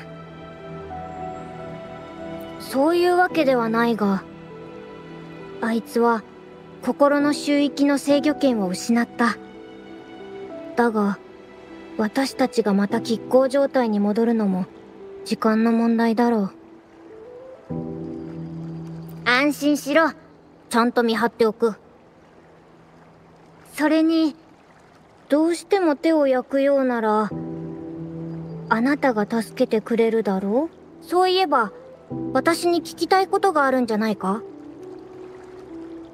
創造者が一人の人間を指すとは限らない。そしてそれがどのような存在なのかはまだ答えられない。その質問への答えを止めたのはあなた。あるいはかつてのあなた。私を止めた理由を知るときあなたは創造者の正体を知ることになる。今私が言えるのはあなたは導き手であり自らの意志で心の周域に入れるただ一人の存在だということだ。あなたはゲートと私そしてあの黒いのを管理する権限を持っている。だからこそゲートとゲートがもたらす異変を認識できるのはあなただけなんだ。そういえば私に聞きたいことがあるんじゃないか？それは心の周域が現実を侵食した結果だ。あの黒いのが心の周域の絞り込みや削除の機能をなくしたせいで周域はソラリス中の夢を無差別に複製し始めた。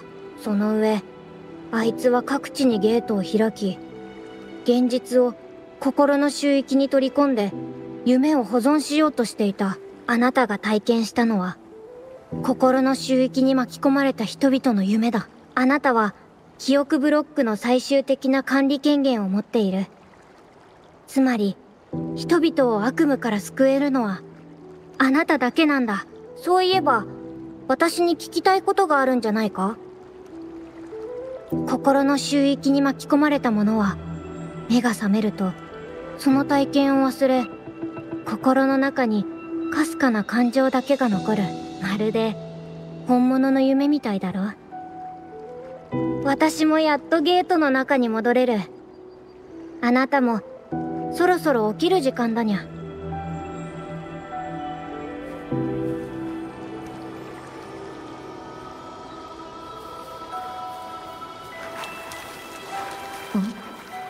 列車のそばに何かある。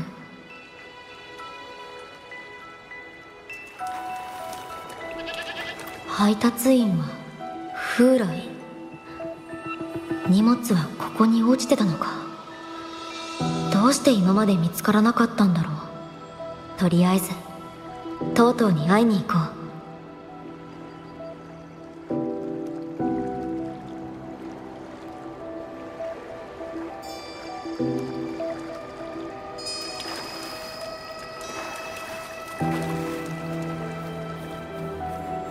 まだ何か聞きたいことがあるのか？もちろんだ。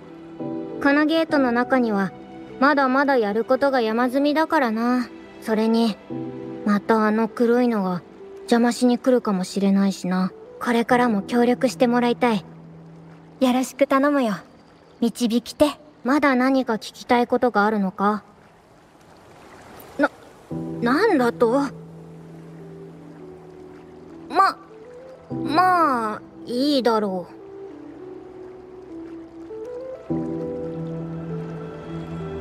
にゃーにゃーにゃー気持ちいいにゃーうんお、終わりだこれ以上の無礼は許さんぞまだ何か聞きたいことがあるのか？では、導き手よ。また会おう。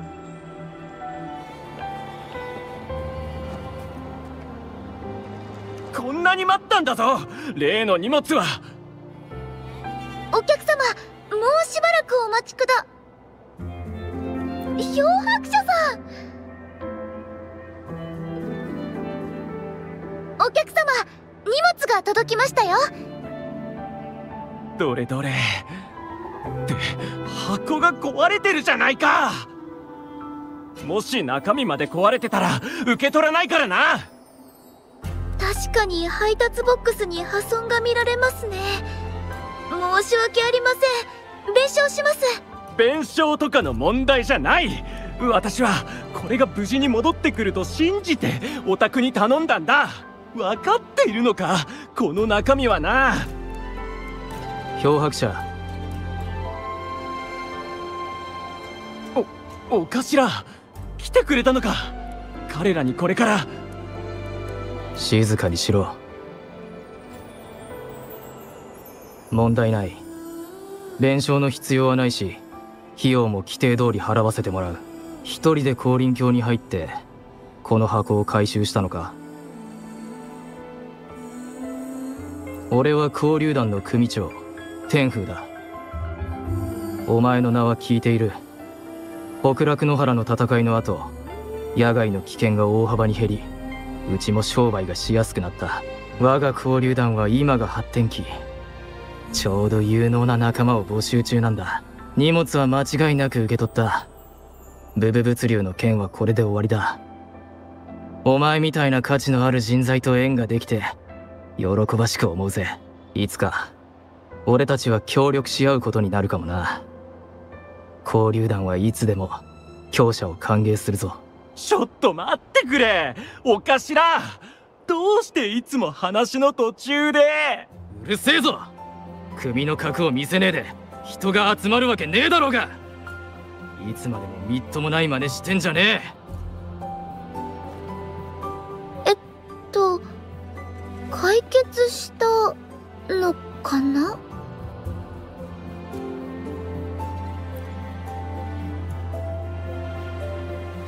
とにかく厄介な問題が解決してよかった。本当に本当にありがと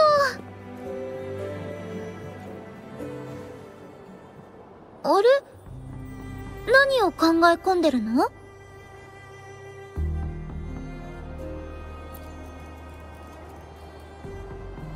えっと具体的には？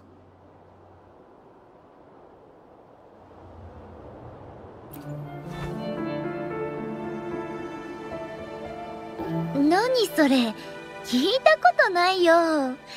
漂白者さんの想像力はすごいね。白猫が言った通り私以外の誰にも見えていない。そうだ漂白者さん。とっても嬉しいことがあったの。昨日の夜久々に夢を見たんだ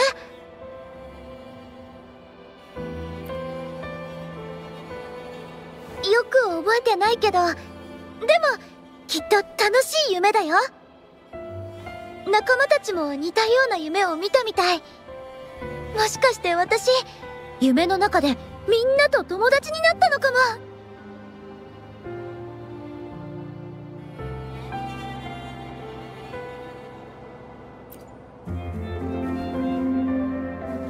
私もそう思う。だっててってれー。私はトートー班長。だからね。しまった。おしゃべりしてる場合じゃなかった。さっき大至急の配達依頼があったから。あ今回の報酬をあげるね。